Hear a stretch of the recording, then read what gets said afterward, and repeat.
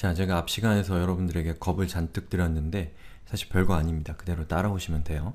그래서 이 git이 무엇인가, 버전 관리가 무엇인가만 여러분이 실제로 이해만 하고 계셔도 나중에 필드에 나가거나 실제로 버전 관리를 하게 되면 큰 도움이 될 겁니다. 자, 우선 제일 먼저 git을 설치해야 됩니다. 여기 있는 명령어를 입력해서 실행하면 돼요. 자, 저는 이 자, 터미널을 실행시키고요. 그리고 방금 복사한 내용을 붙여넣기를 하겠습니다. 자 그리고 엔터를 땅 치면 자 패스워드 눌러보죠. 자 install이 됐습니다. 그러면 이제 git이 설치가 된 거고요. git라고 입력해서 이렇게 저와 같이 저와 비슷한 메시지가 뜨면 정상적으로 이 git을 잘 설치하신 겁니다. 자 그러면 음, git을 사용할 때 제일 먼저 여러분이 누구인지에 대해서 이 설정을 해주셔야 됩니다. 그래서 나중에 다른 사람과 협업을 할 때 각각의 소스 코드가 누가 작성한 것인지 이런 것들을 기록하기 위해서 여러분의 환경을 세팅을 해야 되는데 자 여기 보시면 여기 이고잉이라고 되어 있고 제가 이메일을 적어놓은 것은 이것은 저의 설정입니다. 그래서 여러분은 자신의 설정을 사용하시면 돼요. 여기 있는 걸 한 줄 한 줄 카피하셔서 엔터를 치고 그리고 이 밑에 있는 내용을 다시 카피해서 저도 또 엔터를 치면 예, 이제 기세 어, 지금부터 기술 통해서 여러분이 버전 관리하는 내용들이 여러분에 의해서 음, 버전 관리한 내용이라는 사실이 이제 어, 꼬리표가 붙게 되는 거죠. 여기에 egoing은 자신의 어, 닉네임이나 이메일로 변경해 주시면 됩니다. 자, 그 다음에 우리 슬래시 var 슬래시 따따따 슬래시 Open Tutorials라는 디렉토리 여기에다가 우리 이전 시간에 에디터 수업에서 저런 디렉토리를 만들었잖아요. 그 디렉토리를 통해서 우리가 버전 관리를 할 건데요. 그 디렉토리에 있는 파일들을 버전 관리할 거란 뜻입니다. 자 우선 이 var 따따따 Open Tutorials라고 하는 이 경로를 cd라는 명령어 뒤에다가 둬서 이 var 따따따 Open Tutorials라는 디렉토리를 이동하시면 됩니다. 자, 붙여넣기 해서 엔터를 치면 자, 현재 var 따따따 Open Tutorials라는 디렉토리에 여러분이 위치하고 있는 겁니다. ls-a를 하면 index.html이라는 파일과 Aptana가 만든 우리한테는 상관없는 .project.settings라고 하는 파일과 디렉토리가 보이고 있습니다. 자 그러면 이제 이 버전 관리를 시작하는 건데요. 이 git이라고 하는 것은 git이라고 하는 버전 관리 시스템을 제어할 때 사용하는 항상 제일 앞에 따라오는 명령어입니다. 그리고 init라고 하면 git이라고 하는 시스템이 가지고 있는 명령 중에 init, init이라고 하는 것이고 initialize의 약자일 겁니다. 그래서 init 하게 되면 이 현재 여러분이 머물고 있는 디렉토리, 즉 var 밑에, 따따따 밑에 Open Tutorials라는 디렉토리의 디렉토리를 현 지금부터 버전 관리를 시작하겠다라고 하는 것을 선언하는 겁니다.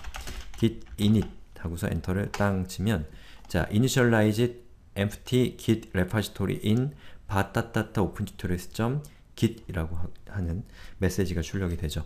그럼 여기서 ls-al을 입력해서 보면 자 보시는 것처럼 .git이라고 하는 디렉토리가 만들어진 것을 볼 수가 있습니다.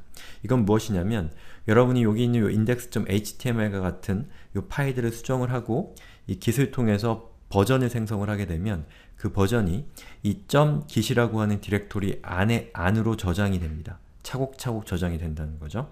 그리고 점 기단에는 이 버전 관리, 이 git이 사용하는 여러 가지 파일들이 저 안에 들어가 있습니다. 자, 그 다음에 뭘 해야 되나요? 자, git status라고 하는 명령을 입력하라고 되어 있네요. 자, git하고 status라고 하고 엔터를 땅 쳐보면 자, 이렇게 생긴 메시지가 나옵니다.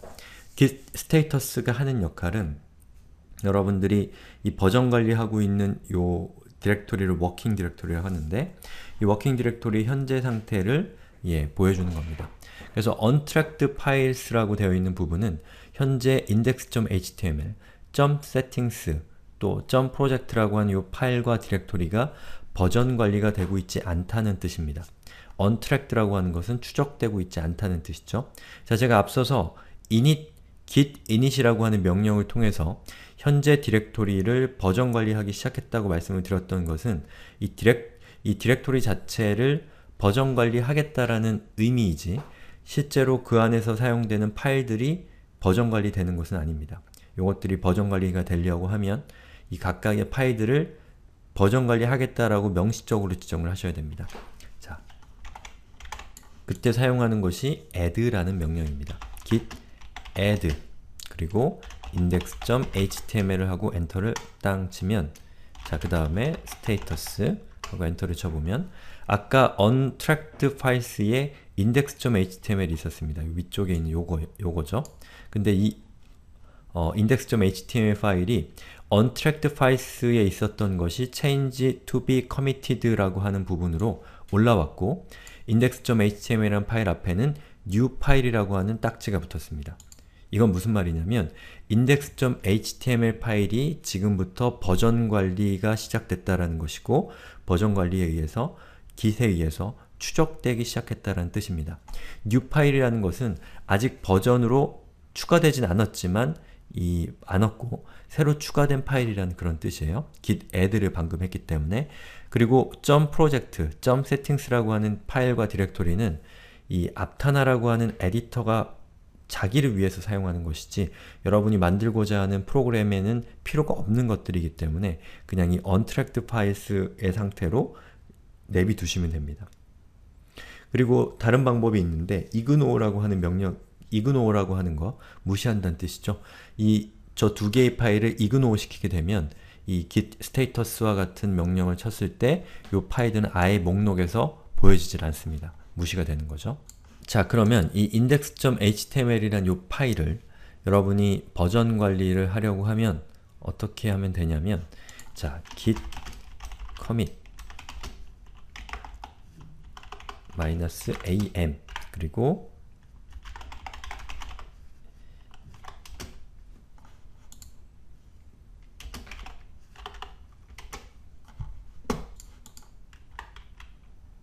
앞에다가 add라고 적겠습니다. 자 여기다 한글로 적으셔도 되는데 이 현재 그 여러분이 하다 보면 이 한글이 세팅이 안 되는 경우가 있을 겁니다. 그런 경우에 무리하게 한글 때문에 어, 지체하지 마시고 그냥 영어로 쓰세요. 자 git add-am 그리고 여기 이렇게 단따옴표를 사용한 것은 여기 있는 단따옴표가 어떤 명령어가 아니라 문자라는 뜻입니다. 그냥 그 데이터라는 뜻이에요. 그리고 앞에 있는 -am이라고 하는 것은 이 a 같은 경우는 이 커밋을 할 때 여기 있는 요 index.html과 같은 이런 파일들, 수정된 파일들을 그냥 음, 커밋하겠다는 뜻인데 여기서 -a의 의미는 여러분이 지금은 모르시는 게 나을 것 같아요. 제가 생각해보니까 그리고 m이라고 하는 것은 이 뒤에다가 직접 어, 이 버전의 변경 이력을 적겠다는 뜻입니다. 예, 그렇게만 알아두시고요. 이렇게 하게 되면 여러분이 지금 changes to be committed라고 되어 있는 부분에 들어있는 index.html이라는 이 파일의 현재 상태, 현재 상태를 하나의 버전으로 만들어서 이 저장을 하게 되는 겁니다. 그리고 그것을 저장할 때 이 파일의 현재 버전은 index.html이라고 하는 파일을 버전 관리 시스템에 추가했다라는 이 변경 이력을 여러분이 이렇게 작성을 한 거예요. 그리고 엔터를 땅 치면 자 이렇게 생긴 메시지가 뜹니다. 그리고 git하고 log라고 입력하고 엔터를 쳐보세요. 그러면 add index.html이라는 파일이 나오고요. 아, 이렇게 메시지가 나오는데 바로 이 메시지는 이 위쪽에서 addindex.html이라고 입력했던 메시지, 즉 작업 이력에 해당되는 부분입니다. 그리고 거기에 해당되는 버전을 이렇게 볼 수가 있어요. 그럼 제가 다시 여기 있는 요 index.html 파일을 제가 좀 수정해 볼게요. 자, 여기 hello world 뒤에다가 저는 제 닉네임을 적겠습니다. 여러분, 여러분의 닉네임을 적으면 돼요. 자, 그러면 이 파일이 수정이 됐겠죠? 그리고 제가 git status라고 입력하면 자, 보시는 것처럼 index.html 파일이 이 modified 상태가 됐습니다. 그, 그것은 무슨 말이냐면 이 파일이 수정됐다는 뜻이에요. 그럼 여기서 제가 git 어, commit -am 그리고 change index.html을 입력하고 엔터를 땅 치면 이 커밋이 됩니다. 커밋이라는 건 제가 아까 말씀드린 것처럼 현재의 변경사항을 하나의 버전으로 저장한다는 뜻이죠. 자 그리고 git status라고 입력하고 엔터를 쳐보면 자 보시는 것처럼 이 방금 전에 요 index.html이라는 파일이 이 changes not staged for commit이라고 하는 부분에 있었는데 요게 없어지고 밑에 그 프로젝트 settings라고 하는 이 파일과 디렉토리만 보이는 거죠. 그건 뭐냐면 저 index.html 파일이 하나의 버전으로 저장됐기 때문에 git 스테이터스에서는 아무 내용도 보이지 않게 되는 겁니다. 자 그럼 여기서 제가 git log라고 입력하고 엔터를 쳐보면 자 보시는 것처럼 아까 index.html, add index.html이라는 버전을 만들었었고 이번에는 change index.html이라는 버전이 예, 이렇게 추가가 된 거예요. 자 그러면 이런 명령을 한번 내려보세요. git log-p 이렇게 되면 이 각각의 버전별로 이 파일에서 어떤 부분이 수정됐는가를 볼 수가 있습니다. 여기 보시면 change index.html 제가 직전에 커밋했던 내용인데요. 자, 이 change index.html이란 변경 이력을 가지고 있는 버전에는 index.html 파일이 포함이 되어 있는데 저 index.html 파일의 내용 중에서 이 hello world라는 부분에 이 콤마 그리고 egoing이라고 하는 텍스트가 추가됐다라는 것을 볼 수가 있죠. 그리고 여러분이 화살표를 이용해서 요 화면에 스크롤을 할 수가 있는데 스크롤 해보면 쭉 내려가 보면 자 여기 add index.html이라는 부분에는 자 index.html 파일이 변경됐는데 여기 앞에 보시면 더하기라고 되어 있는 부분은 내용이 추가됐다는 얘기입니다. 즉 최초로 index.html이라는 파일을 버전 관리해서 처음으로 하나의 버전으로 추가했기 때문에 index.html 파일에 있는 내용 전체가 앞에 플러스가 표시가 되면서 이 내용이 추가됐다라는 것을 의미하게 되는 것이죠.